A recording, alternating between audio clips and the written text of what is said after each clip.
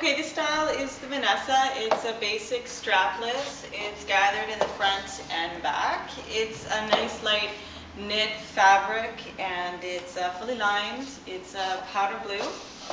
And um, it's got gathering in the front. It's got a front panel and um, it can be worn without a bra. It's got cups and uh, it's just a really, it's been a good fit. I think all kinds of body types can wear it. We found that even large girls or smaller fitting, uh, smaller girls can wear it and they still look really great.